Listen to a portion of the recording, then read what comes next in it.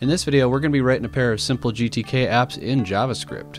So if you remember my Vala videos from last year, this is going to be pretty much the same app except it would be written in JavaScript instead of Vala. So it's worth mentioning that Elementary OS 5 Juno was just released, and that's what we're going to be using as our development platform. And since it's based on Ubuntu, all you need to get started with GJS, which is the official GNOME bindings for JavaScript, is GJS the interpreter, or compiler, or I guess application, whatever it is.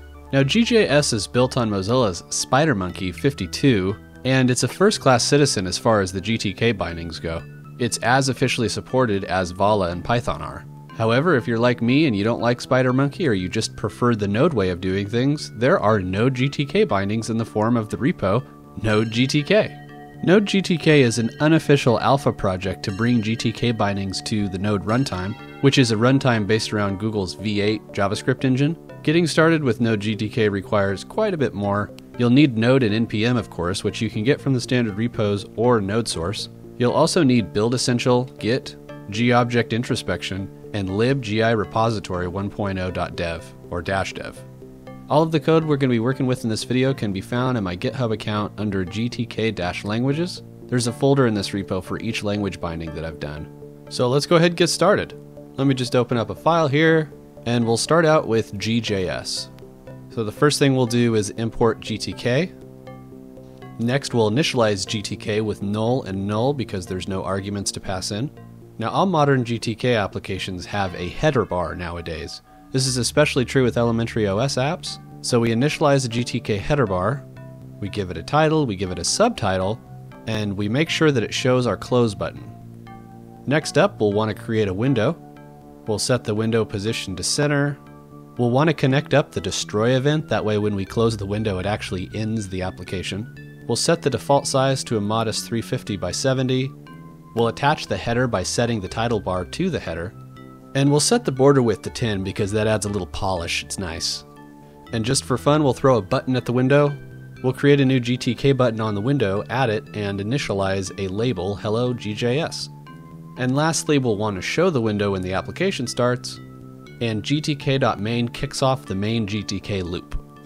Now that we've finished writing our code, we'll save the file as a JavaScript file, open a terminal in the directory with the file, and do gjs, the name of the file. And just like that, we have a simple GTK application written in JavaScript. So that's GJS. Let's take a look at Node GTK. So the first thing we'll want to do is initialize npm because we need to pull in the Node GTK package to get started.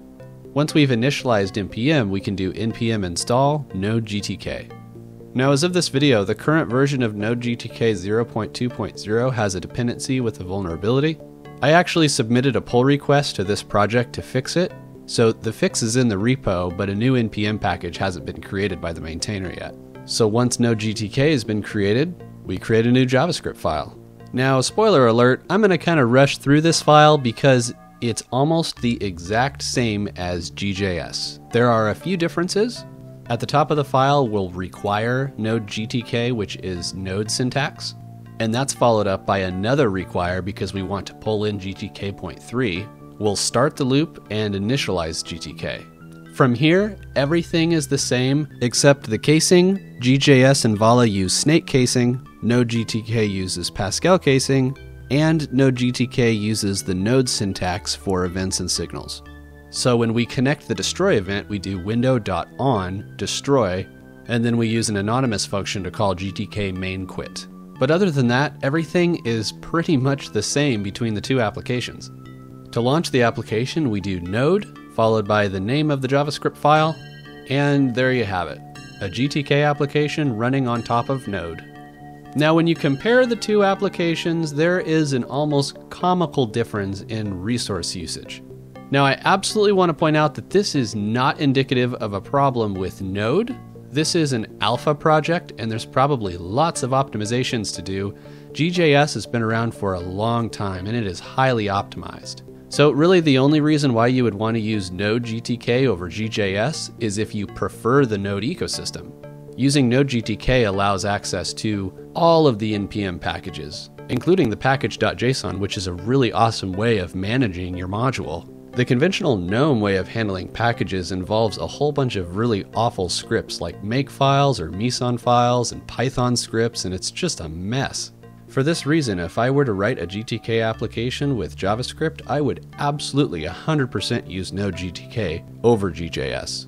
In my opinion, packaging GTK applications is like the worst aspect of GTK, and using something like Node.gtk consolidates all of that into a package.json, which is arguably one of the reasons why Node applications are so damn popular in the first place. Everything is managed in this one file.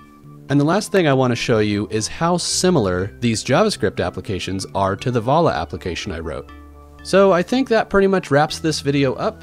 Again, I want to point out that Elementary OS 5 Juno is out, and if you're interested in making a GTK application or an Elementary OS application, you could use JavaScript just like you could use Vala.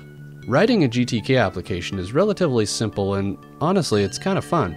Packaging the application is kind of a pain in the ass. But luckily, elementary OS applications have their own sort of application lifecycle with Houston, CI, and all this other stuff. The elementary OS team wrote some really great blogs on this whole process, and I suggest you go check them out if you're interested.